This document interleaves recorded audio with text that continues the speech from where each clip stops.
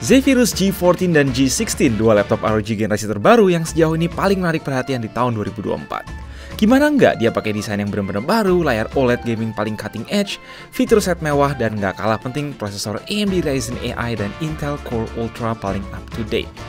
Di video ini, kita akan sedikit merangkum kedua laptop tersebut biar kalian nggak salah beli.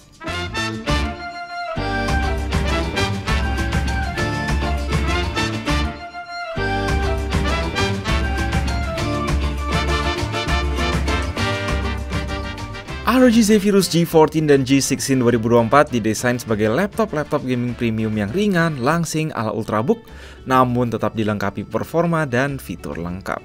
Bahkan setelah megang dua laptop ini, kami merasa bahwa ini pertama kalinya ada seri Ultrabook gaming yang secara konstruksi bisa menyamai bahkan mengungguli Razer Blade dengan harga lebih terjangkau. So, apakah perbedaan utama di antara kedua notebook keren ini? Pertama ya ukuran, namanya G14 berarti 14 inch, namanya G16 ya berarti 16 inch. Namun, selain dalam hal panjang dan lebar, tinggi kedua perangkat ini hampir tidak berbeda. Sangat portable, sangat bikin seneng kaum gamer dan creator yang harus bawa laptop ke sana kemari. Jadi ya singkat cerita G16 adalah G14 versi lebih besar, sama-sama punya slash lighting yang menggantikan anime matrix di belakang. Lebih low profile sih, bagus atau enggaknya itu tergantung pada selera kalian masing-masing. Gue pribadi yang suka desain simple, andai cuma sekedar dikasih logo ROG nyala pun nggak masalah. Yang penting sekali lagi konstruksi super solid, terasa mewah, dan berkualitas di tiap sudut berkat body full metal hasil proses CNC milling. Oke, perbedaan ukuran bikin beda ukuran layar, beda ukuran layar juga ternyata bikin beda spek layar. Memang benar, dua-duanya menggunakan Nebula Display OLED 16 banding 10 lapis kaca paling cutting edge dengan resolusi dan refresh rate tinggi, namun kami sedikit terkejut saat mengetahui Zephyrus G14 punya resolusi lebih tinggi hingga 2.8K atau 3K sebagaimana disebut Asus, sedangkan G16 dalam tanda kutip sekedar QHD atau 2.5K. Awalnya terdengar aneh walau QHD masih sangat tajam untuk ukuran layar 16 inch, namun ternyata beda di refresh rate. G14 hanya sanggup push hingga 120Hz, meanwhile G16 didesain hingga 240Hz, pertama kalinya ada laptop gaming OLED ROG yang punya refresh rate setinggi ini. Secara praktis, layar 16 inch itu lebih luas dan nyaman buat kerja saat nggak nyalok eksternal monitor, lebih enak juga gaming kompetitif up to 240Hz, namun buat kebanyakan orang, 14 inch 120Hz itu udah lebih dari cukup baik untuk kerja dan gaming, terutama bagi kalian yang mengedepankan portabilitas. Untungnya di sisi kamera dan percolokan, perbedaan antara kedua laptop tidaklah jauh. Di atas layar, kita sama-sama dapat webcam Full HD lengkap dengan sensor IR untuk login Face ID. Di sisi kanan terdapat slot SD card UHS 2, tapi micro SD di G14 sedangkan full size di G16, ditemani USB-A 3.2 Gen 2 dan sebuah USB-C 3.2 Gen 2 support DP dan charging PD.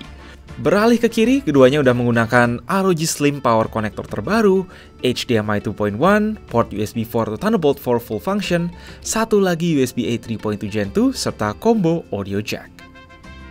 So, perbedaan utama di antara kedua laptop ini adalah prosesor yang digunakan masing-masing pertahankan eksklusivitas generasi sebelumnya, di mana G14 menggunakan AMD Ryzen 7 9 AI 8000 series Hawk Point, sedangkan G16 menggunakan Core Ultra 7 atau Ultra 9 Meteor Lake. Di sinilah menariknya karena kita bisa bikin perbandingan singkat efisiensi jagoan CPU mobile performa tinggi antara Intel dan AMD pada wujud laptop yang relatif sama.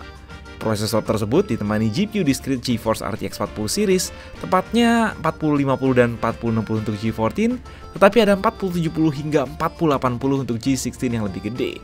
Sayang sekali di Indonesia G14 hanya hadir dengan konfigurasi RAM dual channel 16GB soldered yang hitungannya agak sempit untuk laptop kelas enthusiast.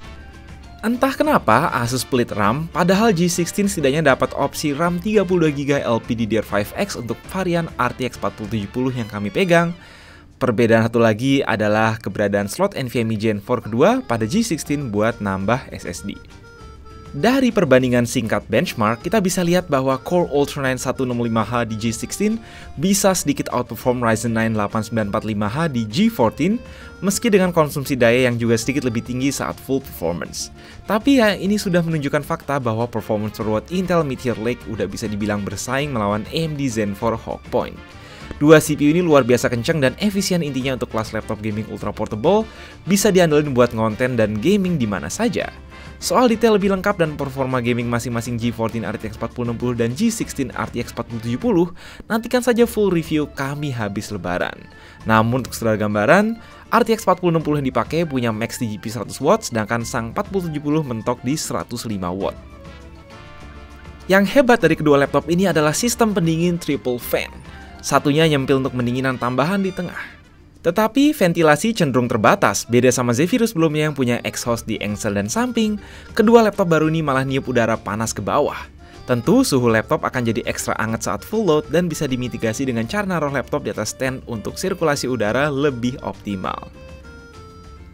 Selebihnya, kedua laptop punya keyboard RGB satu zona, tombol volume, armory crate, dan power yang kepisah, tidak ada yang disertai numpad, sebagai gantinya ada touchpad ekstra nyaman dan ekstra luas. Ditambah space untuk speaker front firing kiri kanan. Kualitas sistem 6 speaker ini jujur aja sangat bersaing dengan laptop-laptop flagship bahkan MacBook kekinian, kenceng, jernih, bahkan soal bass improvement nampol dari Zephyrus G generasi lawas. Oh, sama daya tahan baterai juga sedikit berbeda. Somehow Ryzen terlihat masih lebih hemat baterai ketimbang Intel Ultra. Kami tes playback video G14 tahan sekitar 10 jam dengan kapasitas baterai 73 WH, di mana G16 hanya tahan sekitar 7 jam dengan kapasitas baterai 90 WH yang lebih besar. Ya oke okay lah, yang penting dua-duanya dapat dua jenis charger, yakni charger 200W untuk performa penuh, dan sebuah charger USB-C 100W yang lebih enteng di bawah. Oke, kalau ditanya mending Zephyrus G14 atau G16, tentu jawabannya ada di selera dan kebutuhan masing-masing calon pembeli. Kedua laptop ini punya performa sangat solid dalam wujud yang sangat ramping sekaligus premium, berharap bisa jadi standar baru laptop gaming kekinian ya dengan berbagai fitur mewah. Yang menurut kami sebaiknya jangan dicontoh dari Zephyrus G series ini masalah RAM. Mestinya nggak susah kok nambah harga 1-2 jutaan asalkan dari base model udah dikasih RAM onboard 32GB. Kami nggak masalah kalau ada ZenBook yang masih pakai RAM 16GB, tapi please, kita sedang berbicara tentang ROG Zephyrus, sebuah produk entusias yang rata-rata konsumennya berdompet tebal. Bisa jadi orang yang tadinya udah pingin banget beli Zephyrus G14 kayak gue, tiba-tiba jadi mikir-mikir lagi ketika tahu di Indonesia belum masuk varian RAM 32GB. Di luar itu, baik Zephyrus G14 dan G16 mungkin bukan jawaban ideal buat kaum gamer hardcore, tetapi jelas jawaban untuk kaum content creator hardcore dengan mobilitas yang tidak kalah hardcore. Nantikan full review kami, jangan lupa like, share, subscribe, and as always, gue Mike, stay safe, stay healthy.